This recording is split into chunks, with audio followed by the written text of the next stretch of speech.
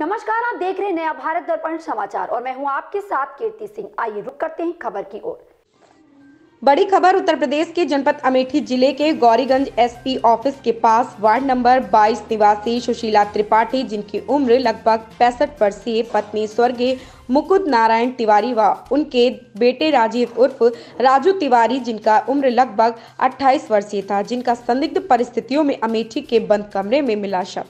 और शव मिलने से सनसनी मची हुई थी। आपको बताते चले कि बीती रात्रि 24 दिसंबर को गौरीगंज थाना के बगल व एसपी ऑफ़िस से सटे मकान में 60 वर्षीय सुशीला देवी व 30 वर्षीय बेटे राजीव की घर के अंदर हत्या हो गई थी, जिसमें संदेह के आधार पर मृतक राजीव के भाई योगेंद्र ने हनुमान तिराहा के पास छाया स्टूडियो के बगल रहने वाले रमन के खिलाफ हत्या का मुकदमा दर्ज कराया था।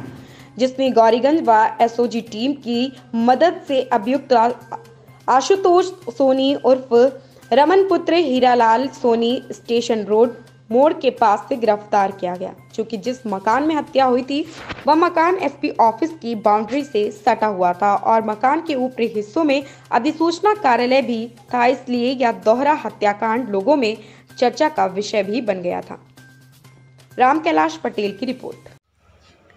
सर गौरीगंज में हुई हत्या का खुलासा हुआ है। क्या है पूरा मामला?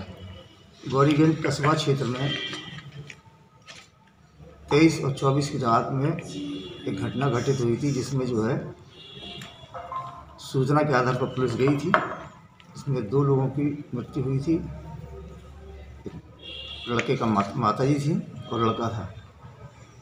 और इस सूचना पर उनका जो है पीएम के लिए भेज दिया गया था। दिनांक तीस तारीख को उसके भाई ने प्रार्थना पत्र दिया कि मुझे शक है कि इस लोगों की हत्या, इसके दोस्त रमन के द्वारा और किसी और के द्वारा एक एक व्यक्ति और पप्पू या, पप्पू सिंह। उनके द्वारा की गई है। चेकिंग के दौरान रमन को गिरफ़्तार किया गया। रमन से जब पूछताछ की गई तो उसके द्वारा ये स्वीकार किया गया कि मेरे द्वारा और मेरे दोस्त पप्पू के द्वारा, पप्पू सिंह के द्वारा इसकी हत्या करके हम लोग ऊपर से फांद गए थे। अंदर से दरवाज़ा बंद था।